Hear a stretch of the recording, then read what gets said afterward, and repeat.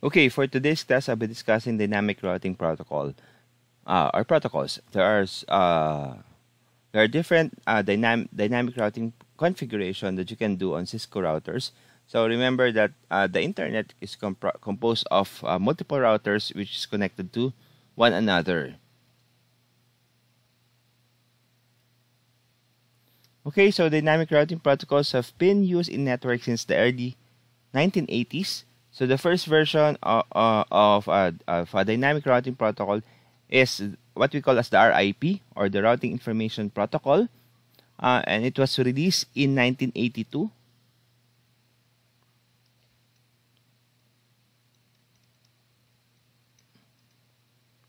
The routing info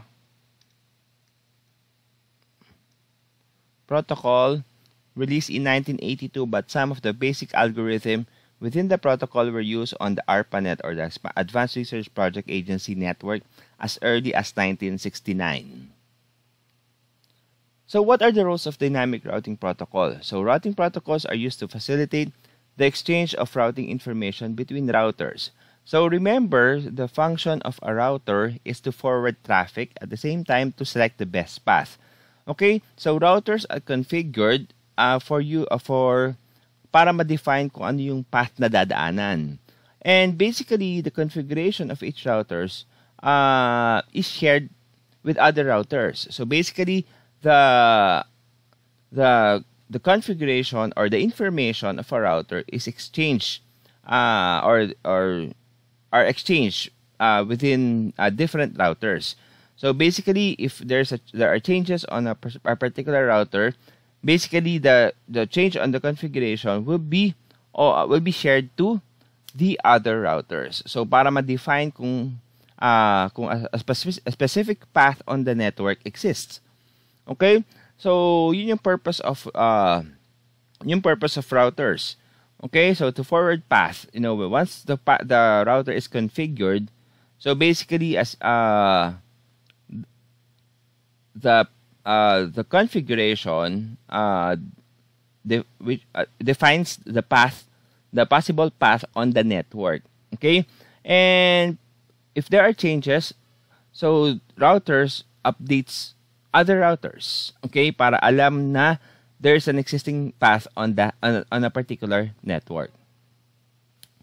Okay, so remember that on uh, another function of a router is to uh, select the best path on the network. Okay, so routers, uh, routing protocols allow routers to dynamic, dynamically learn information about remote networks and automatically add this information to, to their own routing table. So again, uh, any changes on the on a, on a router on, on a router, basically i-update niya yung other routers para na-define kung there if if a particular path is is available on on that particular on on, on the network. Okay? So hanapin niya kung ano yung magandang network based on the configuration. Okay?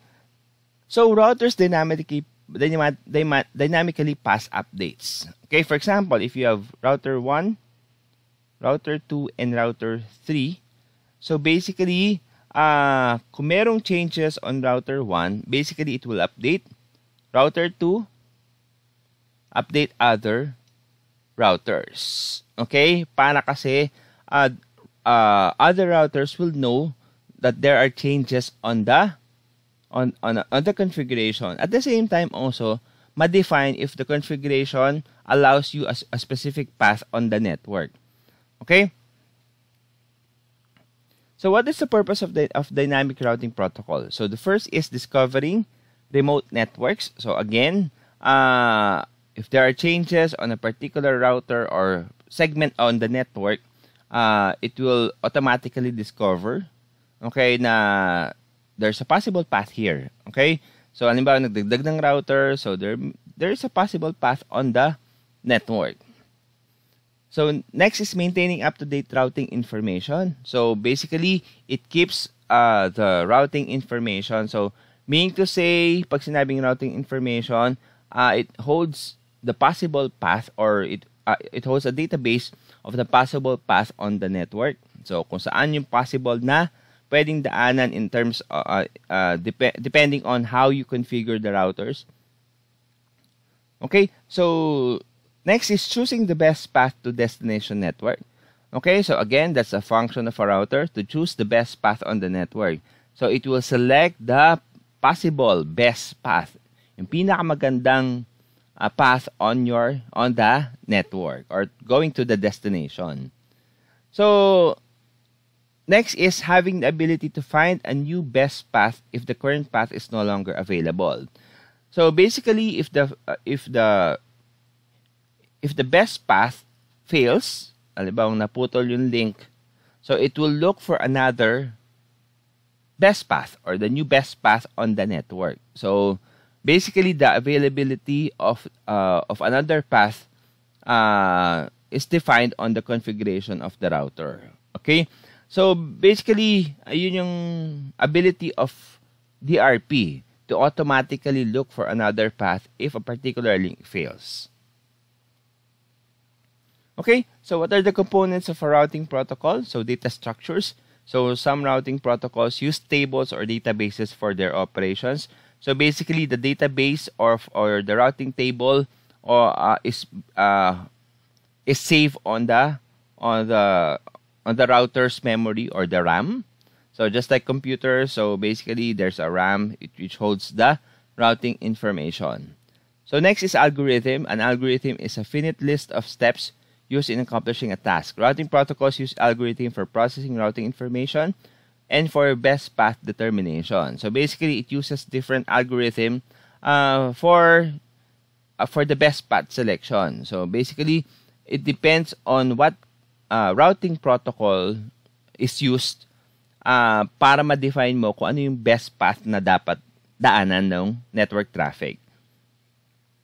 Okay, so next is routing protocol messages. So routing protocol use various types of messages to discover neighboring routers, exchange routing information, and do other tasks to learn and maintain accurate information about the network.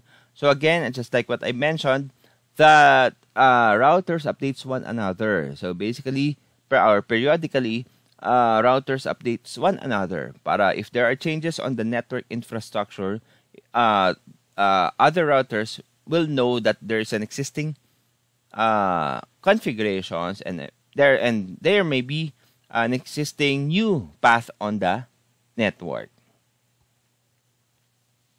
Okay, so th those are the components of routing protocol, data structure algorithm, and routing protocol messages. So these are the routing protocol messages. Okay, so routers updates one another uh, with any changes on the network or the configuration. Okay, uh, here example of uh, dynamic routing protocol. We have the Enhanced Interior Gateway Routing Protocol or the EIGRP, the Open Shortest Path First, first or the OSPF, the, the Routing Information Protocol or the RIP, the Inter, Interior Gateway Routing Protocol or the IGRP. So intermediate system to intermediate system or the ISIS. So these are uh, examples of uh, dynamic routing protocols that you can configure, especially in Cisco.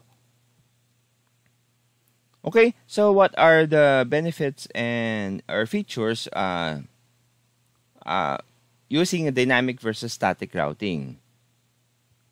Okay, so in terms of uh, when you say static routing, basically uh, you configure the router to to have the specific path to your destination.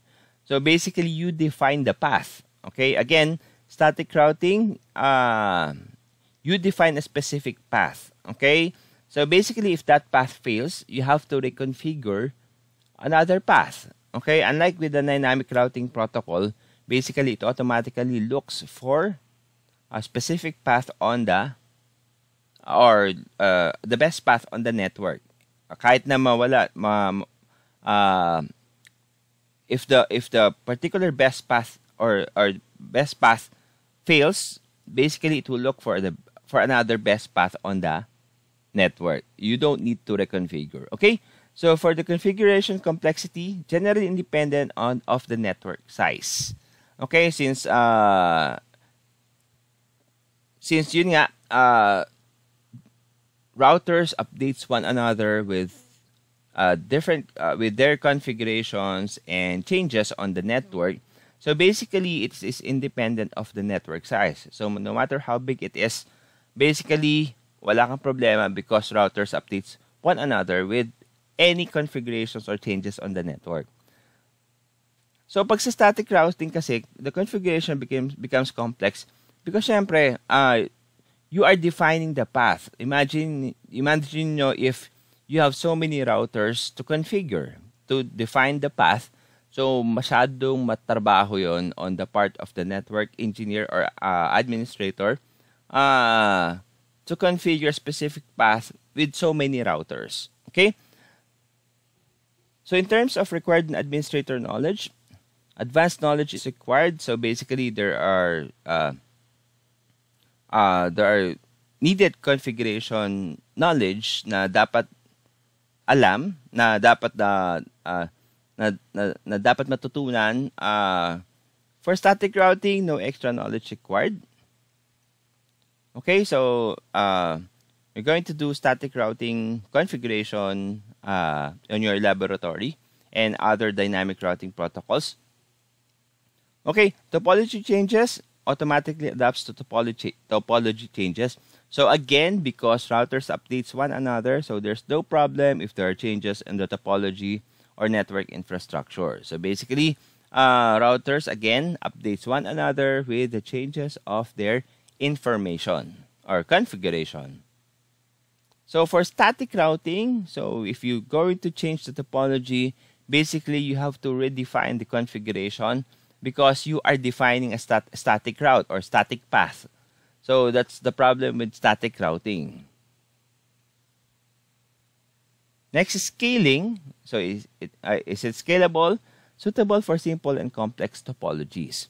Okay, so basically you can use it on a, uh, it's easier for you to configure on a simple and a more complex topology. So same as well with the configuration complexity. So no matter how big the size is, remember that routers updates one another on a dynamic routing protocol. So, yung static routing is only suitable for simple topologies. Okay, so yun nga, because you are defining the path, you are configuring routers one by one to define the path.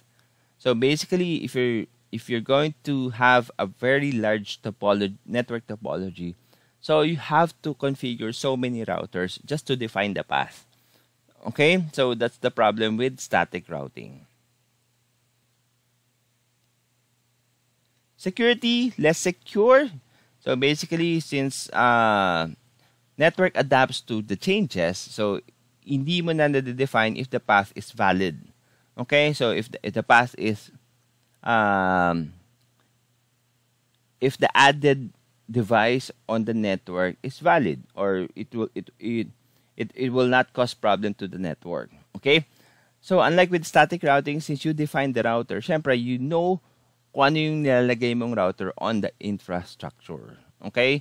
Uh, because on the dynamic routing protocol routers learn uh, changes on the network okay next is resource usage uses CPU memory and link bandwidth. So remember that routers exchanges uh, routing information or the uh, routing configuration or changes on the network.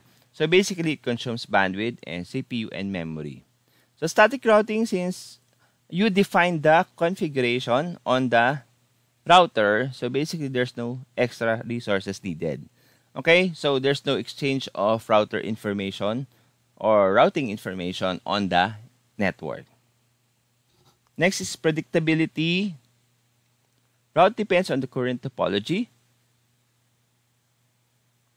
So basically yun nga, uh, routers only adapts or the route or different routes on the network is based on the topology. So automatically it will adapt if any if there are any changes. So halimbawa nag-add ng another router and this is this newly added router gives the, the, the best path to your destination. So basically, it will automatically adapt, uh, adjust, uh, uh, uh, uh adjust or uh, it automatically uh, updates other routers of this existing new router that will provide you the best path to your destination.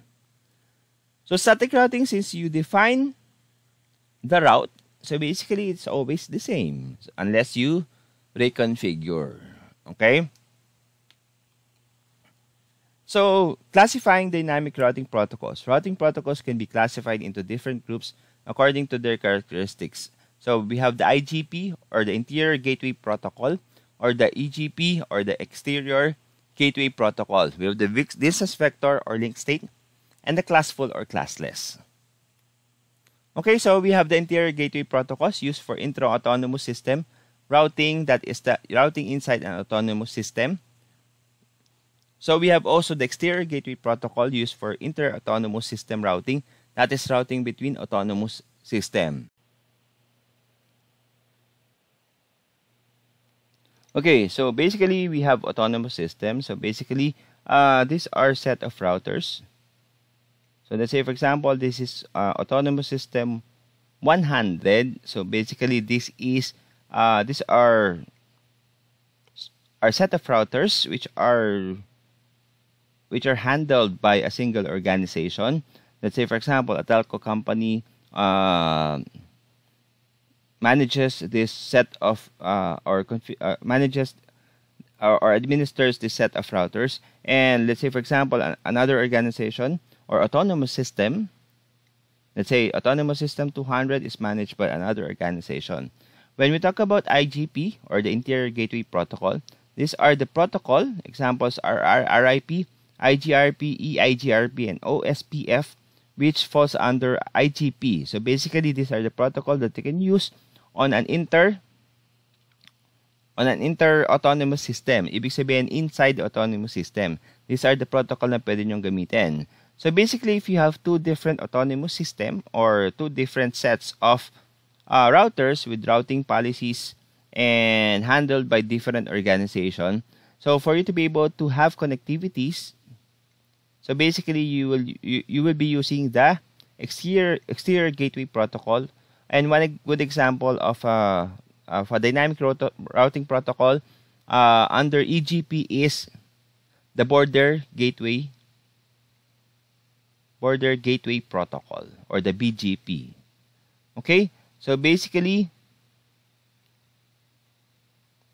so basically the exterior uh, gateway protocol allows you to have communication or link between two different autonomous system. Okay, so that's why it is called exter uh, ex exterior gateway protocol. So it links uh, different autonomous systems uh, together. Okay, so unlike with IGP, those are protocols which can you can only use uh, inside uh, an autonomous system. Okay, so we have also the distance vector and link state routing protocol. When you talk about distance vector routing protocol, so basically, uh, distance vector means that routes are advertised as vectors of distance and direction. So distance is defined in terms of a metric such as hop count. So yung tinatawag na hop count, uh, basically it is the number of routers before you reaches before you reach the destination. For example, you have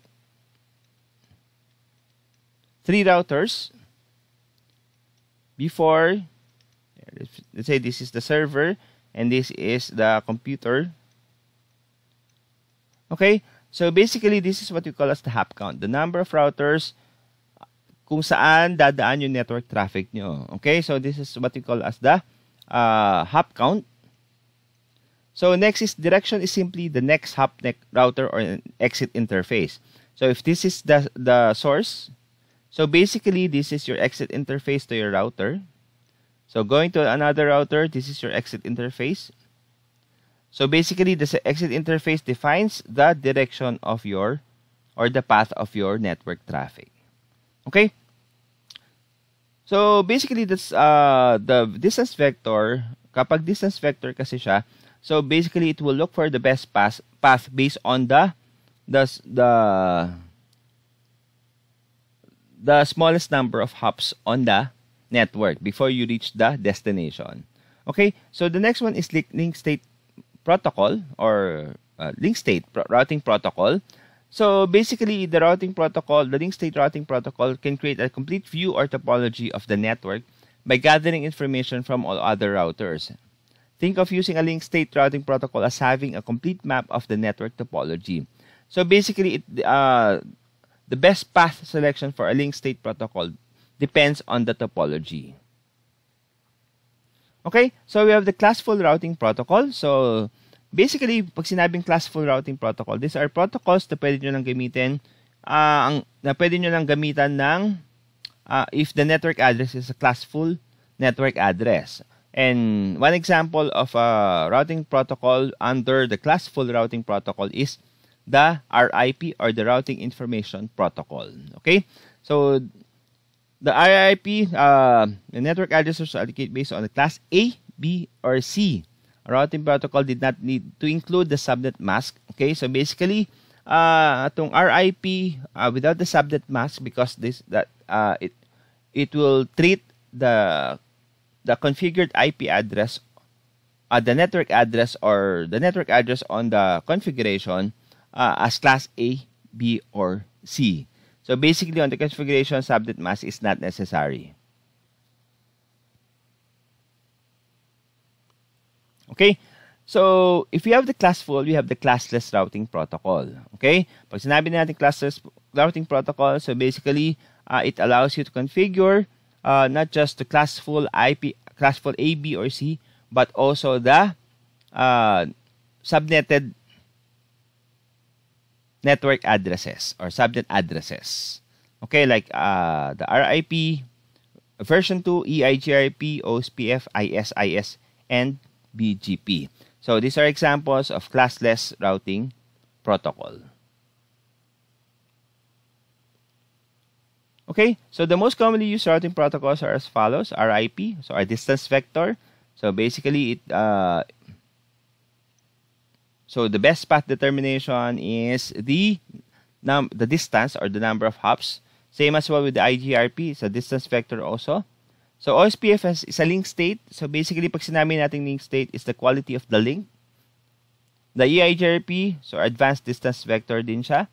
Uh, the BGP, a path vector exterior routing protocol. Okay, so we have the metrics or the term metrics. So metrics are a way to measure or compare routing protocols use metrics to determine which route is the best path. Okay? So, yung tinatawag na metrics is the, the measurement of a particular link uh, para makonsider ito na uh, ito yung pinaka-best path to the destination. Okay, so different routing protocols use different metrics. The metric used by one routing protocol is not comparable to the metric used by another routing protocol. So basically, uh, different routing protocols do have different metrics. Okay, so what are the metrics used in IP routing protocols? So we have the hop count. So a simple metric that counts the number of routers a packet must traverse. So just like what I've discussed kanina, the, the hop count is the number of routers na dadaanan ng inyong network traffic. So the bandwidth influences path selection by preferring the path with the highest bandwidth. So basically, uh, the dynamic routing protocol may use the bandwidth as its metric. Uh, ang ha, ang kukuhanin niya is the yung pinakamataas na bandwidth on the network. Uh, no matter gaano ka dami yung hop niya, pero ito yung mas mabilis in terms of bandwidth. So ito yung mas pipiliin niya. So next is load. Consider the traffic utilization of a certain link.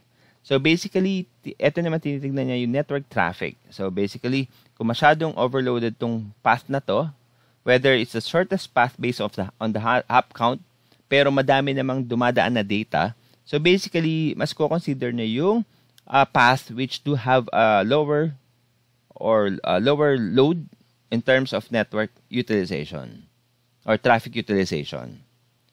So the next delay considers the path, the time a path, a packet takes to, to traverse a path. Okay, so basically, uh, when talk about the delays, the time interval for for for the for your packet uh, for your for your data to travel from your source to the destination. So, ano ba yung mas mabilis? So, no matter how what's the bandwidth or baka mamaya masyado mahaba yung cable on a particular link. So, basically, that's one consideration in terms of metric, the delay. Next is reliability. So, pag sinabing reliability, it will look for a reliable uh, network link. So, minsan kasi there are there are connections na unstable. So basically, if a particular path is unstable, it will look for another path which is more reliable. Okay, so next is cost, a value determined either by the IOS or by the network administrator indicate indicate per, preference for a route. Cost can represent a metric, combination of metric, or a policy. So basically, uh, pwede mo i-define yung uh, or define kung anong metrics yung gagamitin mo depending on the dynamic routing protocol na ginamit mo or a combination of different metrics. Okay, so this is one good example of uh, best uh, path the determination path determination. So, for example, if this is PC1 and PC2, so if you're going to use the routing information protocol and RIP chooses shortest path based on hop count, so basically, uh, the best path here is from here, from router 1 to router 2, papunta sa PC2. Okay? If you are using the routing information protocol and configure it on the router because it chooses the best path based on the hop count or the number of routers. Kasi ang dadaanan lang niya is two routers, router 1 and router 2. Unlike if you, if your traffic will go here. You have R2, R1, R3, and R2. You have three routers. So this is mas malayo siya in terms of number of routers or hop count. Okay? But if you're going to use OSPF, if you if you're going to configure the router using OSPF uh, or the open shortest path first, uh,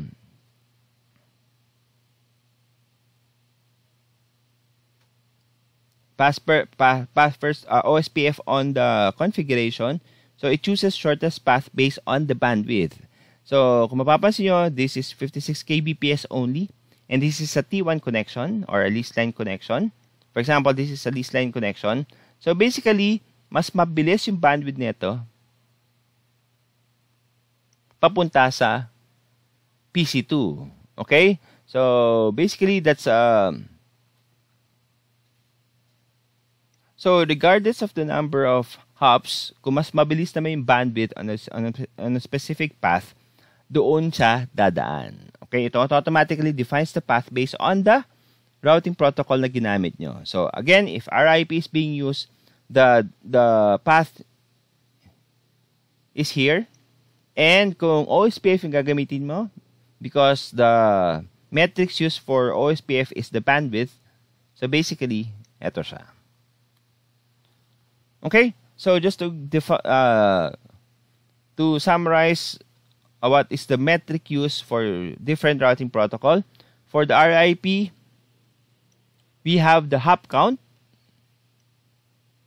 Okay, for the IGRP or EIGRP, we have the bandwidth, delay, reliability, and load, or basically the quality of the link.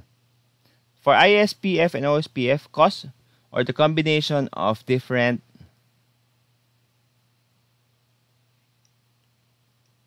uh, of, of different metrics.